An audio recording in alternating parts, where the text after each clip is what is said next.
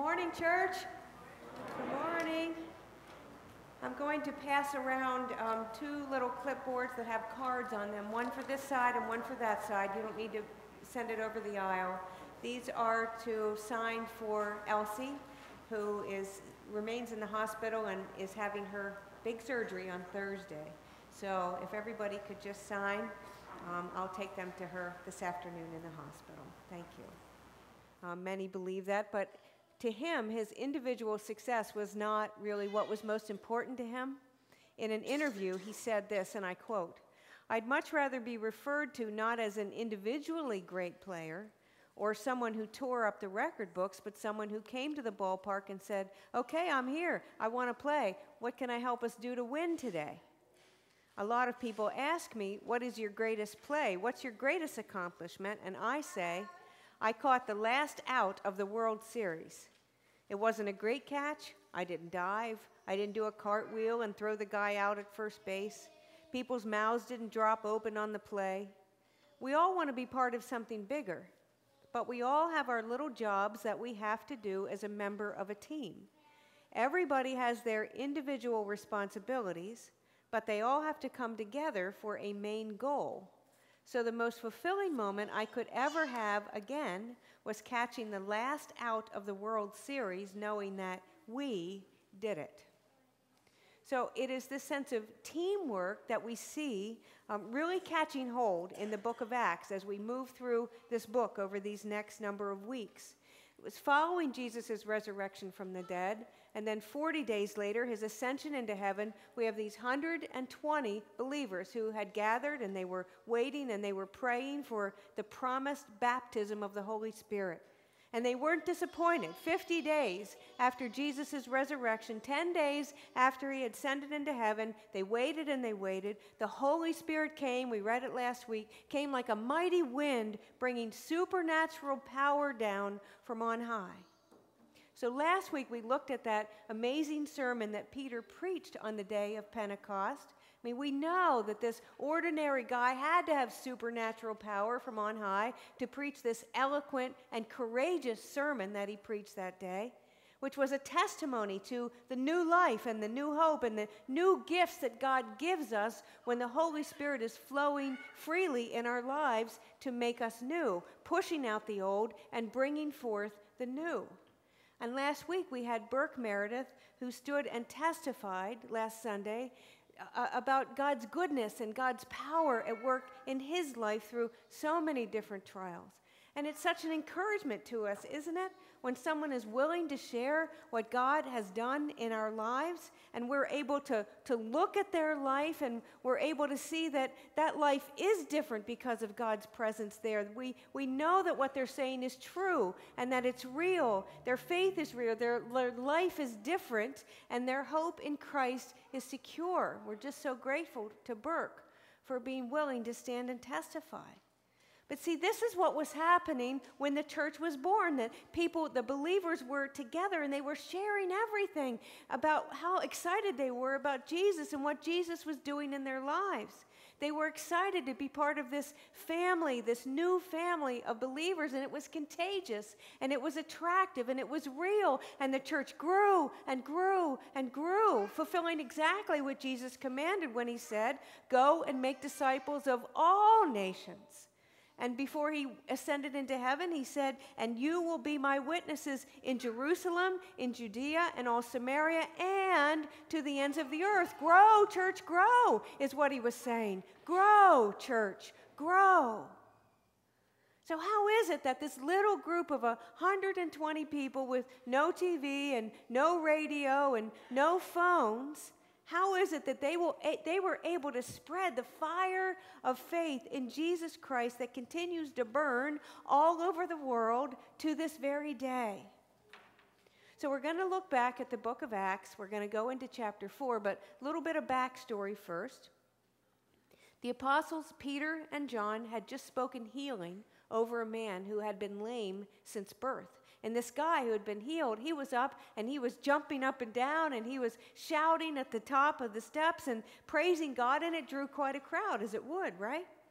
And so Peter, of course, took advantage of this opportunity, gave another little mini sermon about Jesus and the importance of the crucifixion and the resurrection and his invitation for everybody to come to faith in him, which was very upsetting to the religious rulers. I mean, they got rid of Jesus because of this kind of preaching, and now it has come back, and it seems to have come back in, in full force, and so they're upset. So let's see what happened. While Peter and John were speaking to the people, the priest, the captain of the temple, the Sadducees came to them, much annoyed, because they were teaching the people and proclaiming that in Jesus there is the resurrection of the dead. So they arrested them and put them in custody until the next day, for it was already evening. But many of those who heard the word believed, and they numbered about 5,000, okay? 120? Now we're talking 5,000. The next day, their rulers, elders, and scribes assembled in Jerusalem with Annas the high priest, Caiaphas, John, and Alexander, and all who were of the high priestly family. When they had made the prisoners stand in their midst, they inquired, By what power or by what name did you do this? Then Peter, filled with the Holy Spirit, said to them, Rulers of the people and elders, if we are questioned today because of a good deed done to someone who was sick, and are asked how this man has been healed, let it be known to all of you and to all the people of Israel that this man is standing before you in good health by the name of Jesus Christ of Nazareth, whom you crucified, whom God raised from the dead. Now, when they saw the boldness of Peter and John and realized that they were uneducated and ordinary men, they were amazed and recognized them as companions of Jesus. When they saw the man who had been cured standing beside them, they had nothing to say in opposition. So they ordered them to leave the council while they discussed the matter with one another. And they said, What are we going to do with them? For it's obvious to all who live in Jerusalem that a notable sign has been done through them. We cannot deny it. They couldn't deny it. The guy's standing there. But to keep it from spreading further among the people, let us warn them to speak no more to anyone in this name. How do you think that's going to go, right? So they called them and ordered them not to speak or teach at all in the name of Jesus. But Peter and John answered them, Whether it is right in God's sight to listen to you rather than to God, you must judge. For we cannot keep from speaking about what we have seen and heard. And then they released them and they went back to their friends, to the other believers, and told them what happened. Now, the whole group of those who believed were of one heart and soul, and no one claimed private ownership of any possessions, but everything they owned was held in common. With great power, the apostles gave their testimony to the resurrection of the Lord Jesus, and great grace was upon them all. There was not a needy person among them, for as many as owned lands or houses sold them and brought the proceeds of what was sold. They laid it at the apostles' feet, and it was distributed to each as any had need. There was a Levite, a native of Cyprus, Joseph, to whom the apostles gave the name Barnabas, which means son of encouragement. He sold a field that belonged to him, then brought the money and laid it at the apostles' feet. So, how is it that the church grew from those first 120 believers that were gathered in prayer and anticipation? I mean, it was by the power of the Holy Spirit. It grew because of the holy boldness then of these apostles who would not be silenced in speaking about Jesus. But it also grew because of the selfless servant attitude of those early believers.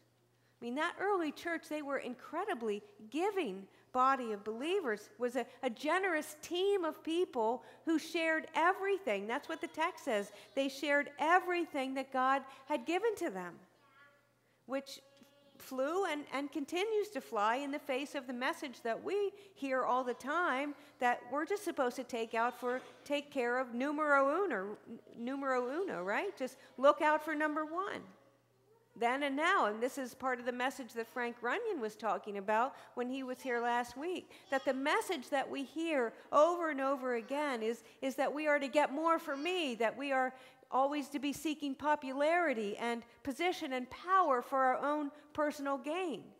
I mean, even though in this day and age, and many of us know that that this concept of being a team it's very in vogue it's very popular at school it's in posters it's in company communications that we have work teams here and there. The point of all that what is it? It's to win. The point is to win is to your team and the real estate is to, to sell more homes or in advertising to sell more advertising to get more customers to get a bigger bonus for your team to get the highest rating in school for your team. In order to get more of something. More what? Popularity position power possessions. More for me. And if it works out that there's more for you well then that just is great for you.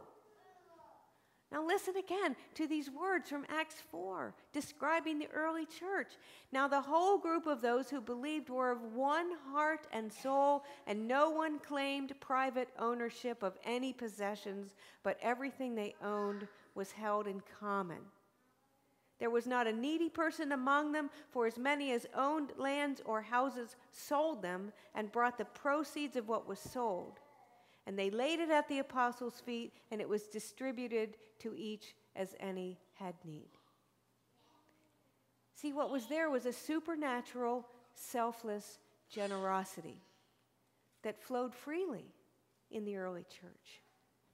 They were unified in that. It says they were unified in their heart and their soul, in their generosity and in their giving. There's a true account of a World War II um, Japanese prison camp. It's called Through the Valley of the Kwai. It is an extraordinary story, and in that is a story of a man named Angus MacGillivray. Angus was a Scottish prisoner in one of the camps that was filled with Americans and Australians and Britons. They are the ones who helped build that infamous bridge over the River Kwai. The camp had become an ugly situation. It was a dog eat dog mentality. It was, you know, looking out for numero uno. The allies would literally steal from each other and cheat each other. Men would sleep with packs under their heads, but even while they were sleeping, their packs would be stolen. Survival was everything. It was the law of the jungle, you know, survival of the fittest. Until the news of Angus MacGillivray's death spread throughout the camp and rumors spread about his death. And nobody could believe that he had finally succumbed because he was a big man, and people just assumed he, because he was big and strong that he would be one of the last to die. But actually, it wasn't the fact of his death that shocked the men, but the reason that he died that shocked them. Finally, they were able to piece together the true story. The Argylls, who were the Scottish soldiers, they took their buddy system very, very seriously. And their buddy was called their mucker. And they believed that it was literally up to each of them to make sure that their buddy, their mucker, survived. Angus's buddy, however, was dying, and everybody had given up on him, of course, except Angus. He made up his mind that his friend was not going to die. Somebody had stolen his mucker's blanket, so Angus gave him his own, telling his buddy that he had just happened to come across an extra one. Likewise, at every mealtime, Angus would get his rations and he would take them to his friend. He would just stand, he would stand over him and make sure that he ate, and he would just tell him that he had just gotten a little extra himself that day. Angus was determined that he was going to do anything and everything that he could to see that his buddy got what he needed to survive. But as Angus's mucker began to recover, Angus himself collapsed and slumped over and died. And the doctors discovered that he had died of starvation, complicated by exhaustion, because he had given of his own food and his own shelter. He had given everything he had, even his very life and the ramifications of his acts of love and unselfishness had a startling impact on the entire compound. As word circulated of the reason for Angus MacGillivray's death, the feel of the camp began to change. Suddenly, men began to focus on their mates, their friends, the humanity of living beyond suffering and of giving oneself away. And they began to pull their talents Who knew? One of them was a violin maker, another was an orchestra leader, another was a cabinet maker, and another one was a professor. Soon the camp had an orchestra full of homemade instruments, and a church called the Church Without Walls was formed. And it was so powerful and it was so compelling that even the Japanese guards attended this church. And the men began a university and they began a hospital and they began a library. And the place was transformed, all because one man gave all he had for his friend. See, the foundation of the church has always been giving oneself away for the sake of others, after the example of Jesus Christ, who laid down his life for you and me. The candles burning this morning in honor of these children God has given us to help us raise in the faith from a distance in so many different nations. that's evidence of, of the fact that the fire of faith that was lit on the day of Pentecost continues to burn, is still spreading, is still causing ordinary people like you and me to give ourselves away for the sake of Christ and his kingdom. Now, some among us can give the $38 a month or $1.27 a day to be able to support these children. I mean, $1.27, that's like less than a soda over at Bears a day. I mean, some of us can do that, some of us cannot do that, but that's the way it is on any team, right? Some can and some can't. I remember many years ago when Don Baker came and preached here. He hasn't been here for a long time. He's now one of the pastors at King Street United Brethren. But when he was here, he spoke a prophetic word over us. I'll never forget it. He said, and we were a much smaller congregation then, he said that he believed a congregation such as, such as ours could be sponsoring and taking care of at least 30 compassion children. It was a prophetic word. As of this morning, with these three new children, 32 children are being taken care of through our congregation. But because our congregation has grown since that prophetic word, it is obviously my hope, my prayer that in continued obedience to go and make disciples of all nations, that more of us will, will take one for the team, so to speak, meaning take, go and look at these children whose packets are in the windowsills and pick up a packet and take one for the sake of the team. I mean, I'm very proud of you. I'm so blessed to be part of such a generous congregation. I mean, there is a lot that we have done locally, and there's a lot that we have done globally together in the name and the power of the resurrected Jesus Christ. Because of what? Because of the holy boldness of those first believers who would not be silenced. And yet, there is much to be done here and across the world. Because every 30 seconds, a child dies of malaria, which is a preventable and a treatable disease. It's estimated that 67 million children don't go to school because they don't have access to school. One billion children, which is nearly half of the world's population of children, live in poverty. 640 million children live without adequate shelter. Shelter. This past week, we had three different children in our congregation who were going through some rough times. We had Trip Carball, who was in the hospital with pneumonia. He's doing well, he's home now. We had Finn McGee, who had a four wheeler accident, ended up having to spend the night in Hershey Medical Center, um, who is home now, and he's recovering well. And little Sarah Smith fell on Friday night and broke her elbow, and she's going tomorrow to see if she's going to have to get pins in her elbow. But, but we're, we are so blessed because we have access to good medical care and their parents are able to take care of them. But there's so many children for whom that is not the case. So I pray that the supernatural, generous acts of the apostles would continue th- through the Upper Path Valley Presbyterian congregation. Because remember what Jesus said that Katie read earlier Whatever you did for one of the least of these brothers and sisters of mine, you did it for me. Thanks be to God.